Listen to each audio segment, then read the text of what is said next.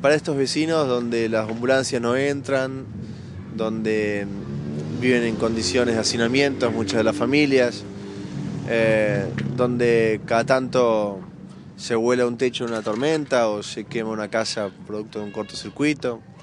La inseguridad para, para estos vecinos es el gobierno de la ciudad. La inseguridad representa para ellos eh, no saber qué puede pasar mañana con un corto de electricidad o si la ambulancia no entra y hay un enfermo.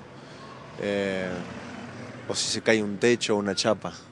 Y eso se puede solucionar. No hay ninguna razón para no hacerlo porque además la ciudad tiene un presupuesto importante para poder hacerlo. No estamos hablando de problemas de recursos, sino de problemas de gestión de la ciudad y de desinterés de estos lugares. Como economista es interesante caminar acá y ver cuando la palabra subejecución, porque yo uno habla y dice tal partida se subejecutó, vivienda se subejecutó, educación se subejecutó. ¿Qué quiere decir subejecutar? No gastar la plata. No solo disminuyen los presupuestos para este tipo de inversiones que hacen a la calidad de vida de la gente, sino que la subejecutan.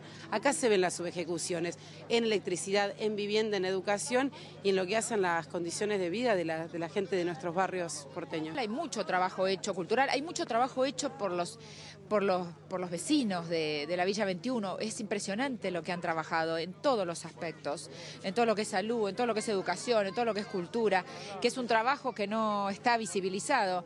Eh, realmente creo que el barrio se sostiene eh, por el trabajo de todos ellos. Eh, nos hace tomar conciencia de, de cuál es el estado de la ciudad de Buenos Aires y nos hace tomar conciencia de todo lo que nos falta. Estamos escuchando, estamos acompañando apoyando y la verdad que este, sin comprender cómo puede ser que una ciudad que tiene el presupuesto más alto de toda su historia, que gracias al crecimiento nacional ha aumentado la recaudación en una forma enorme, no destine recursos para los que más los necesitan, haga obras de maquillaje en otros lugares de la ciudad que no son tan necesarias y no las haga acá.